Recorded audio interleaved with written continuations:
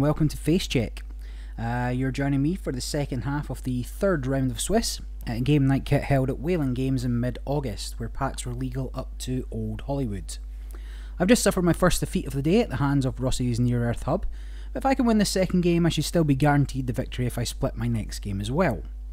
I'm about to get a taste of my own medicine as I face off against Ross playing Noise, and I'm playing a Trixie Jinteki Biotech deck, uh, but that mostly just aims for the kill. A few of you have noticed there's been no videos uploaded for the past few days, and we're disappointed you had nothing to watch over the bank holiday weekend. Uh, thanks, Mum.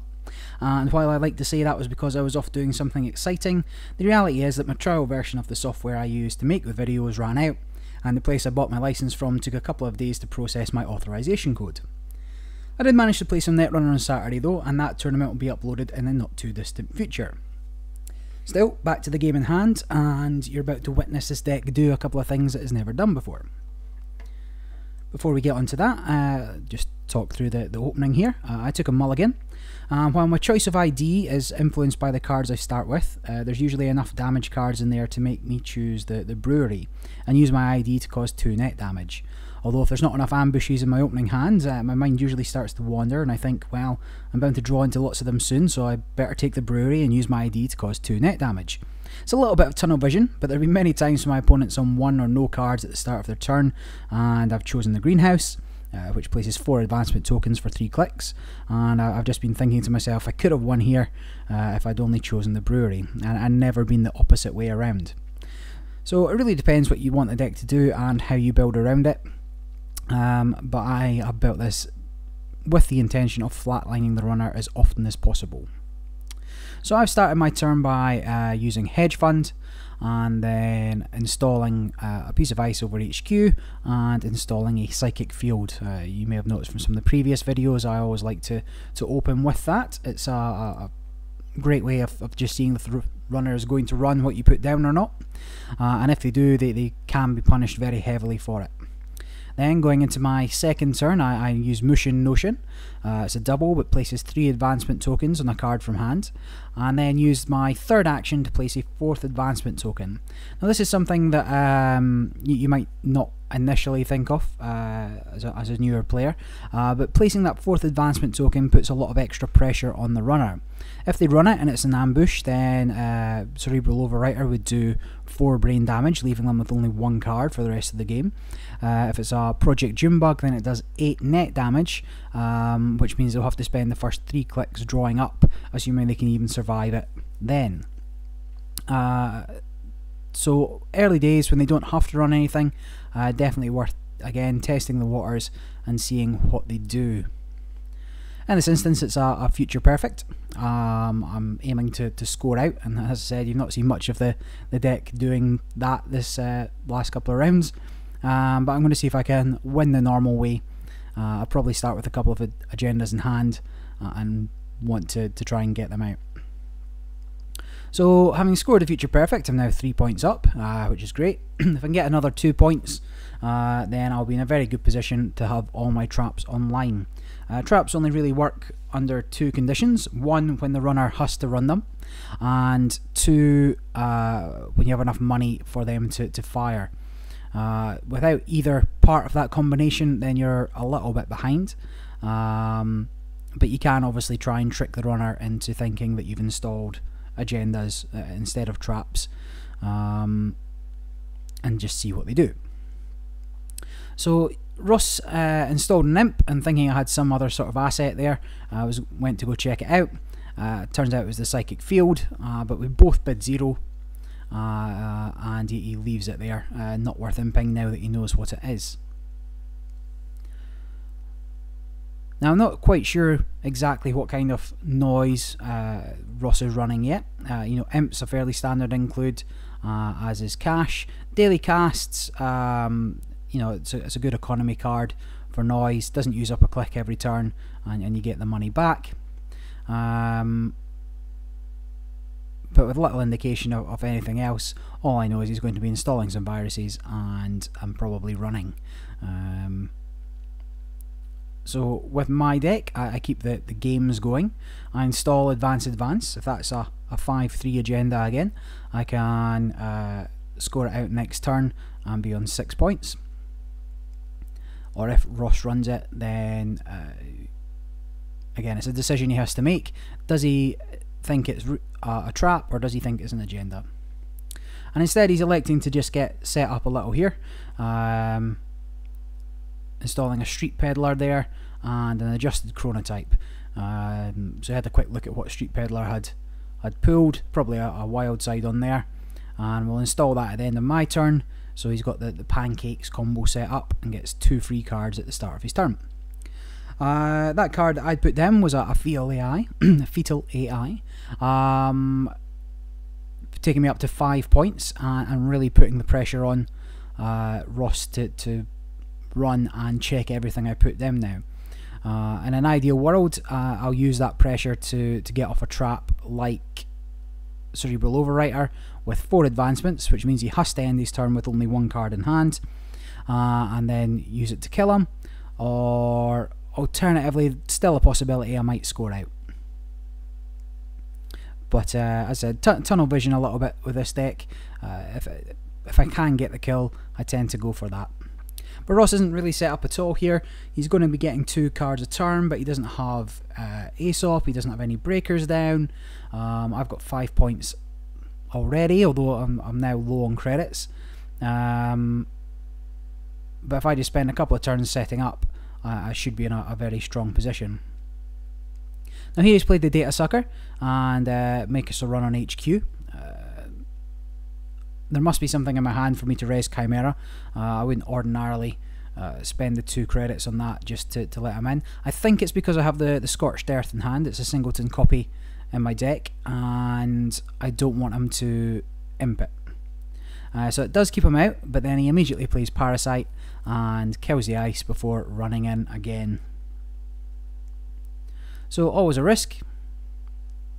Uh, and there goes a Cerebral Overwriter as well. So uh, as I mentioned, I maybe was thinking about getting the kill, or I was maybe thinking about uh, landing a tag or getting a scorch.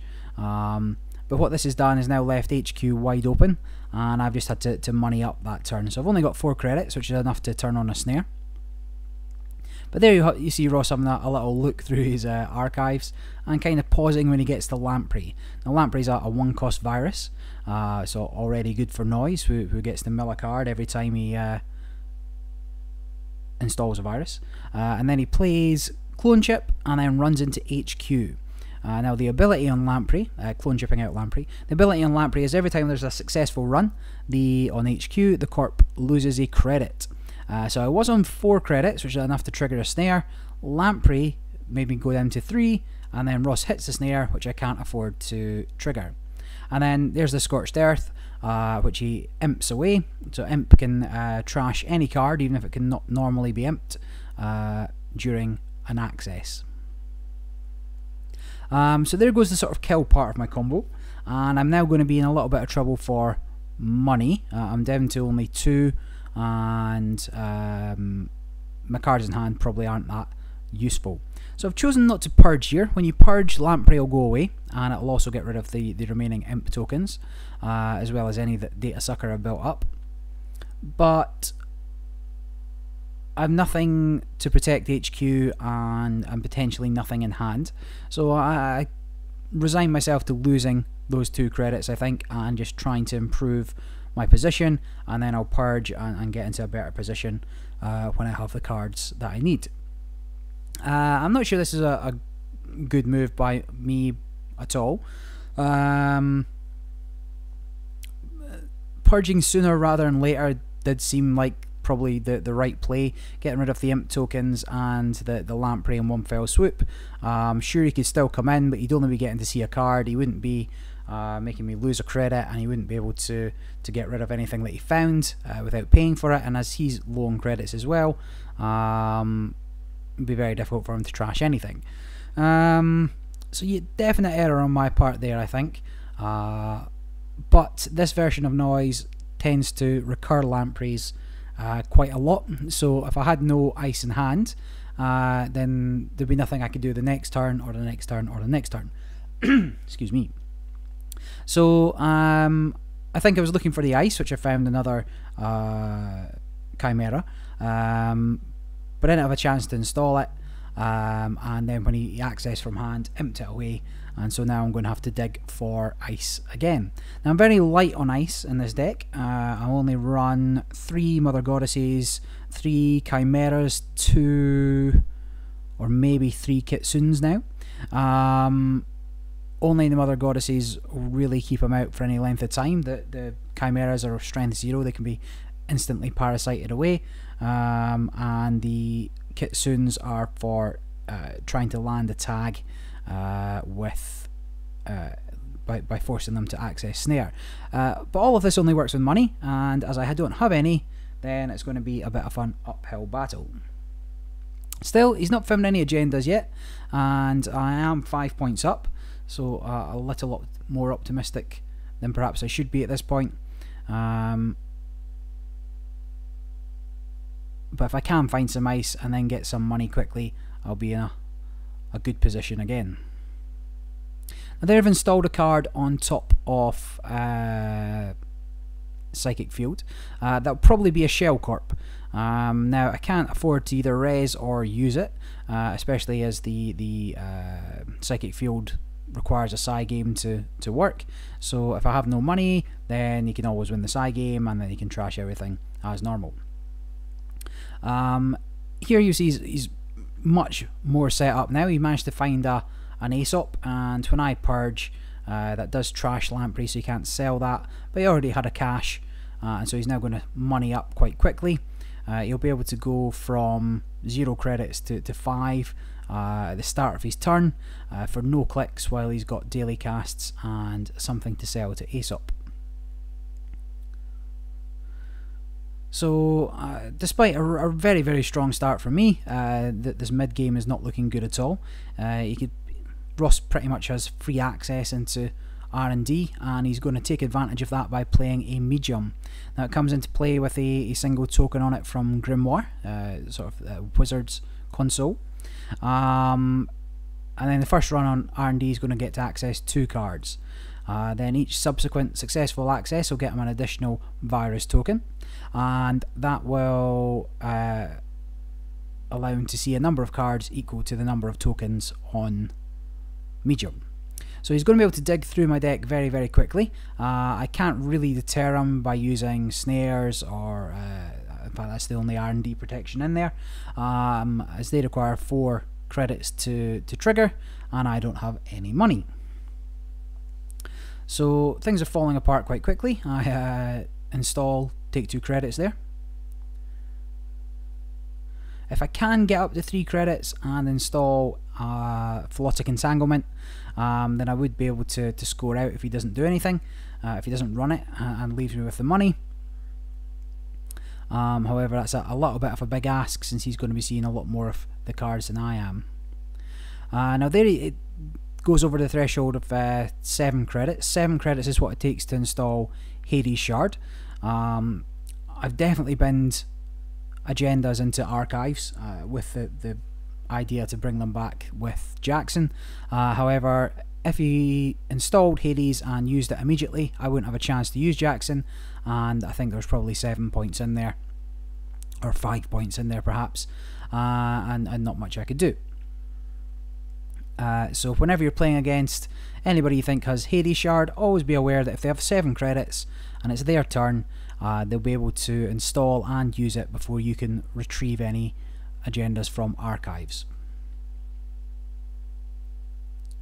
So I've still got two credits, which isn't enough to, to do anything bad to Ross if he, he accesses a card from R&D. Um, he's installed a clone chip, uh, so you can bring back a, another card at will almost. Uh, so if I go back up to four credits here, I can install a lamprey and uh, use that to, to make me lose all four in a single turn. Um, here he's, he's electing instead just to dig deep uh, into R&D. He just found a Future Perfect. Future Perfect requires a Psy game. Now, uh, how much do you think should be bid there? Um, I bid zero, Ross bid zero. And uh, that's an example of where Psy games are not random. I mean, this was Ross's first or second click, and if I bid one, he could run in again uh, and see Future Perfect again and other cards. And if I bid one again, he could run it again, at which point I'd have no credits and he'd still be able to steal Future Perfect. So there was no point in me bidding any money, and Ross knew there was no point in me bidding any money. So he bid uh, just one and uh, that to get in. Now, Ross did score a, a um, the Philotic Entanglement that I was hoping to find. Uh, forgot about that, uh, so that was never going to save me. And he's been able to dig so far through my R&D that um, I would never see the sort of agendas I wanted in time. So it's just an inevitability now whether he finds it on this one or the next. And there it is, Va Vanity Project, the 6-4 agenda from Old Hollywood, um, losing me the game. But um, 6-4 agendas are quite good because they, they keep the agenda density down. Um, sure, it's problematic if the uh, runner scores them and, and, and or runner steals them and you don't score them, but um, it certainly kept me alive a little longer uh, if I just had the, the solutions to uh, what Ross was up to. Now I do run a copy of Cyberdex Virus Suite in that deck, um, but we didn't find it, so there was no purging done automatically and that's now Ross beating me on both the games there. So he finishes round three of Swiss 5 1. Uh, I'm on 4 2. Uh, we'll go into the, the final round. It's only four rounds of Swiss. Um, and although I did say I was not narcissistic in the last video, uh, we will stay with me because they went to a, an awkward table that I couldn't film. And if I win both and Ross loses both, then I should still be able to win. So we'll just say this is a, a budget top table that we're following me on. Um, anyway, if you enjoy the videos, like, subscribe. Um, if you want my waffling for the commentary to go in any particular direction, please just uh, let me know. Um, we'll get this video up on Wednesday, so that'll be when you're watching this, hopefully, and then we'll get the last two rounds up by the end of the week. Um, stick with us and feel free to give us a like on Facebook or chat on Twitter. It's at Facecheck and uh, facebook.com forward slash Facecheck UK.